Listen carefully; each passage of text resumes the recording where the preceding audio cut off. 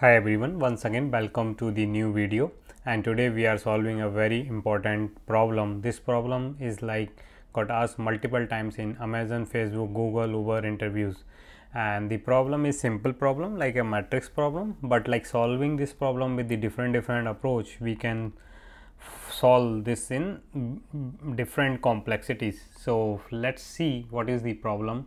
So, first of all it is given a matrix of 0 1 and we need to find out the distance of all the elements from the edges nearest 0 and we can consider the distance between two adjacent cells is 1. So, like from this 0 to this 0 is 1 and this 0 to this 1 is 1. So, for this example clearly as you see we have only 1. So, if we have 0 then the distance of that 0 from 0 at the nearest 0 is 0 itself then we have to only worry about all the cells the value which is not 0. So, like 1. So, this one is like surrounding with all 4 direction is by 0. So, the close nearest distance is from this 0 or this any 0 like from all the 4 0 is 1. So, this is as it is the output of this inputs. In second example if we see this 1 this one is closest to 0 is like all the 3 direction. So, the distance from nearest 0 is 1 similarly for this is also from this and similarly for this also, but for this one as you can see we have distance we do not have directly a 0 uh, which is on the fourth side. So, if on the outer boundary we need to consider as like maximum distance. So, we do not take into the calculation we have to take only the cells from the grid.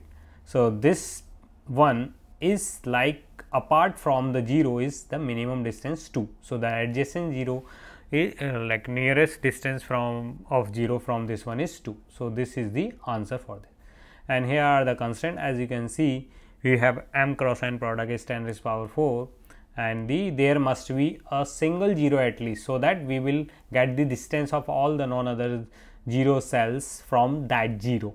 So, how to solve this kind of problem? So, as you have already got of some idea what we can do for the first brute force or the naive solution, we will try to run the cell by cell this matrix whenever we find the non-zero element in that case we need to find out the distance from the nearest cell. So, what we can do for this we can create a separate matrix like output matrix and in output matrix we will update the actual distance. So, we will create a distance matrix or the result and then we will fill the distances from the nearest 0 be based on the approach algorithm we will use. So, now finding the distance from the near 0 we can use our famous uh, algorithm two algorithm like either DFS or the BFS like we can solve this from the both the approach but we running for the cell then we are applying the DFS and BFS. So, if you are not uh, knows how we write the code and how to solve DFS, BFS I have a lot of matrix problem as well as graph problem on my channel. You can go through it, but for this uh, we will solve multiple ways. So, this is the code. This code is like DFS code. So, what I am doing here as I explained we are running the iterating through each cells. When we found the cell doesn't 0 if cell is 0 we will automatically then result matrix get 0 otherwise we will call the DFS method. From that current index i and j and try to find out the distance. So, for finding distance first of all we will validate whether this the current coordinate is valid or not, valid or not. So, like, like if x less than 0 y less than 0 or is out of basically this is if this cell if the coordinate reach to the out of boundary or is already visited then we just return the little bigger value which is 10 raised power 5 because we have m or n 10 power 4. So, that v is fine we, but why I am not returning the integer maximum that is because we are doing plus 1 and the if we add integer max plus 1 that will int overflow. So, that is avoiding that that is the reason. Now, second case if we reach the cell which has the value 0 itself. So, that means we need to terminate from here we will return 0 over here and for not reiterate the like not fall this DFS into the loop. So, we are using visited matrix boolean matrix we will mark it true first for the one direction like whatever path we are going and we also need to unmark it basically it's kind of backtracking it here so that the other path can come and use that cells as well. So, that is the reason and we are running all in all the four directions from let's say if I am on this cell. So, we will run DFS on the four all the four direction and take the minimum over all four of them. Once we get we will return. So, this is the first approach solution and same instead of this DFS part code you can write your uh, BFS code using the queue in similar way with the visited boolean mat uh, matrix help. So, what is the time complexity of this solution? So, as if you are not aware but the when we run the DFS or BFS on the matrix so the time complexity is total number of cells so total number of cell in this matrix we have m cross n so every time we will iterate m cross n cell and this also run m cross n. So m cross n multiplied by m cross n. So the overall time complexity of this solution will become m cross n cross m cross n. So which is m nothing but m cross n square. So, this is the first approach we have solved. So, can we optimize? And the space complexity is also like m cross n as we are using here visited matrix, here we are getting new distance matrix. So, can we optimize this further? So, let us see the same example what we can do.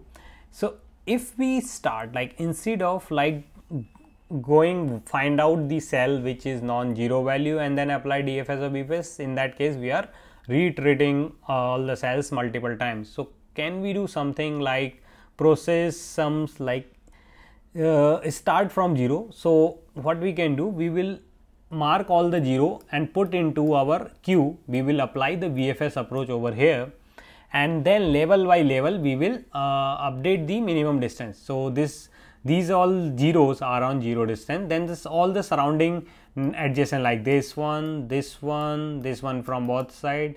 So, this is and this is also so this one. So, these all one are at distance next layer. So, this this are on second level. If we try to create the graphs then this graph node 0 0 on the one level then second these 3 1 are on the another level while this uh, one will be on the second level. So, the distance we will fill the second. So, this way we can write the another solution. So, for this solution also I have written the code.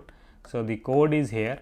So, in this code also what we are doing first of all we are iterating through each cells whenever we encounter 0 we are storing its uh, i and j pair and also marking it as test so that we can't fall in the infinite loop. Now, what we will do once we got this we will run our actual BFS algorithm.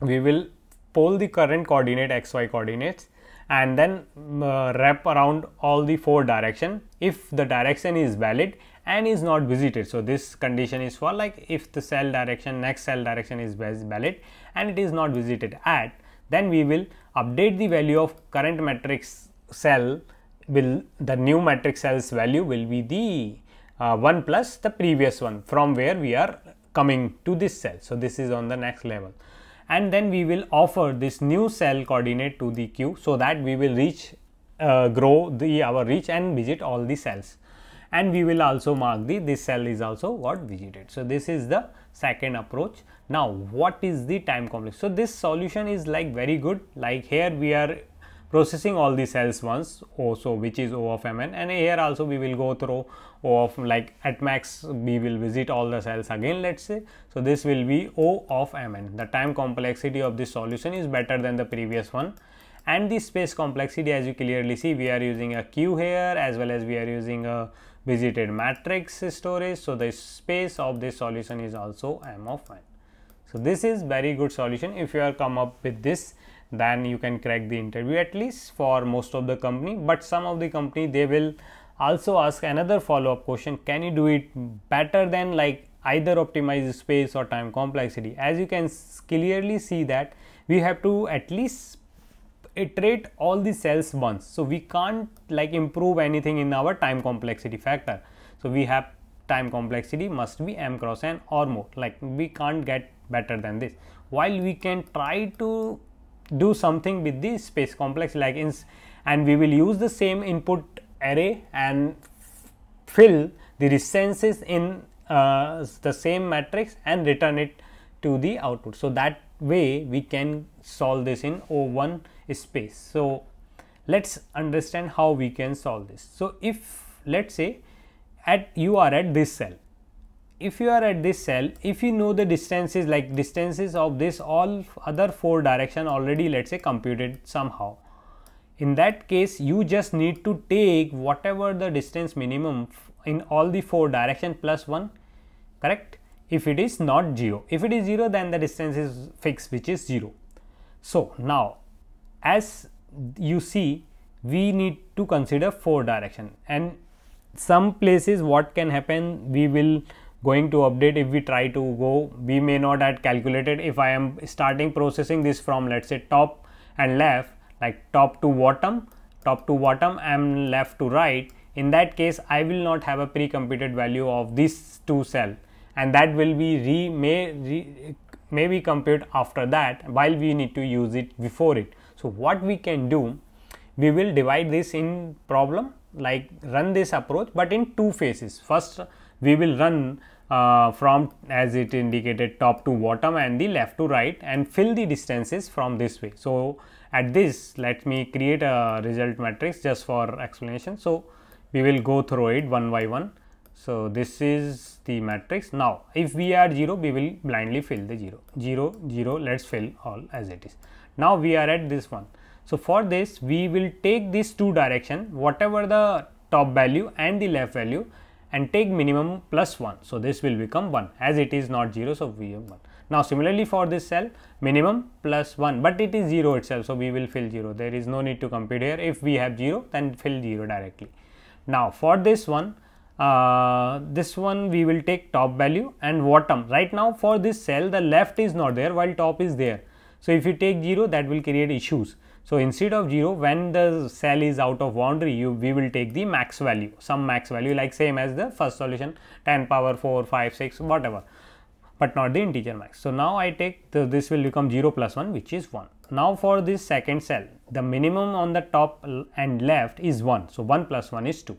Similarly, for this the minimum on this is 0. So, this is 1. Now, we need to run from uh, another pass like from bottom to top and right to left. So, in that case we also need to consider instead of just taking blindly the minimum from like in previous pass top and left we will take the minimum from the current value as well as the minimum from the bottom and the right value. So, for this cell the bottom right all max. So, this is 1 as it is for this cell 0 we do not have to touch it for this cell 2 uh, the minimum on this right is 1 and the bottom we will take max. So, this will 1 plus 1 which is 2. So, this will be 2 as it is. So, for this example this done in from one side pass as well, but there is a example we can take that will be. Uh, so, in the example let us say if I have 1 here and uh, uh, just keep only 1 in the center and surround this with the many zeros. So, let us say 0 0 and take another column 0 0 or like put me let me put the 0 1 and 0 over here. Let's 1 is over here. Uh, 0 is better yeah. So this is another if we place this. So uh, for this one we will get the 1 and for this one again we will 0 so we are not getting updated value of this. If i update further another like if i add another row in this 0 0 in that case now this value will not be 2 this is 1 because the nearest 0 is over here. So, this will get update from the second pass. So, that is the idea to solve this problem and that is called a DP as you see we are taking minimum form. So, let us quickly implement the video is very longer. So, let me show you the code which I have implemented and submitted that got success for that approach. So, here the code is like first I define max value. And this is I am doing the first pass from let me put this condition here like top to bottom top to bottom and left to right. So, we are processing from one place. And here we are just checking if it is not 0 then only do process. Then we are declaring top variable. If the valid cell i minus 0 then take the value from the left mat cell of that current mat cell otherwise define the max value. Similarly for left take the value from oh this is from the left and this is from the top. And then update this matrix with the minimum of these two. Similarly for the second pass we also as i already mentioned we need to consider min among the bottom and right plus 1 as well as minimum of the current cell value because it may be the minimum from the previous pass like this pass. So, this is our uh, second pass from bottom to up top and right to left. So, this is approach. So, this is already successful submitted code. So, I can resubmit for you to show you.